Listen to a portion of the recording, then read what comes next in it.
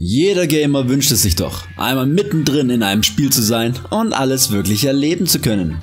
So ergeht es zu Kasa. Er wacht plötzlich im MMORPG The World auf. Er sieht alles, er riecht alles, er spürt alles und er hört alles, was im Spiel passiert. Der einzige Nachteil, er kann sich nicht mehr ausloggen. Er begibt sich lange auf die Suche nach dem Warum und ein Charakter nach dem anderen versucht diese Frage zu lösen. Wieso kann sich Tsukasa nicht mehr ausloggen? Er entdeckt irgendwann ein Item mit einem Guardian, der ihn vor allen Übel beschützt. Gut, jetzt könnte man ja sagen, hey Tsukasa Dude, was ist denn passiert? Das einzig Blöde dabei, er leidet unter Amnesie und kann sich an nichts erinnern, bevor er in The World aufgewacht ist. Und seine etwas zurückhaltende Art hilft leider auch nicht viel.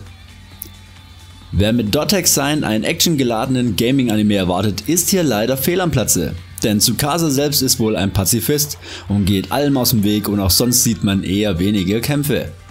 Die Story lahmt etwas vor sich hin, das Pacing ist relativ slow, man wird kaum mit Infos gefüttert und es dauert über 10 Folgen bis die Story wirklich mal vorankommt.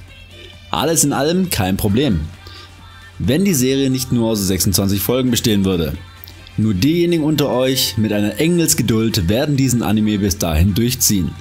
Deshalb hört und liest man so oft, dass Leute den Anime abgebrochen haben. Die Geschichte sich ins Unendliche ziehen würde und so weiter und so fort. Aber es gibt auch Gutes an diesem Anime. Und zwar genug. Die Charaktere zum Beispiel sind sehr facettenreich gestaltet. Es gibt das Mädchen, das sich vor dem Real Life flüchten will, ein hochrangiges Mädchen, welches man einfach lieben muss, den typischen großen Bruder unseres Helden und eine mysteriöse Katzendame. Dazu kommt, dass Dotex sein wirklich gut aussieht.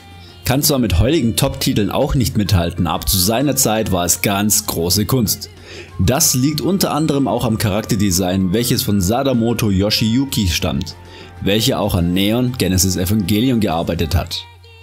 Das wohl beste an Dotex sein ist aber die Musik. Das Opening Obsession von Seesaw ist wohl eines der besten Anime Openings, das ich je gehört habe. Der Sound und die Stimme passt einfach wie die Faust aufs Auge. Wenn ich es nicht besser wüsste, würde ich sagen, das Anfangslied ist einfach nur ein Cheat.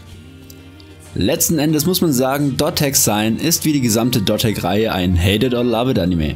Man bekommt Informationsbröckchen hingesetzt, letzten Endes ergibt nur das ganze Dotech-Franchise kombiniert aber wirklich einen Sinn. Dazu gehören neben den Animes die Mangas und auch die Videospiele. Von letzteren bin ich auch ein extrem großer Fan. I just love it. Ich liebe die Dotec-Reihe und konnte so auch mit Dotec sein viel anfangen.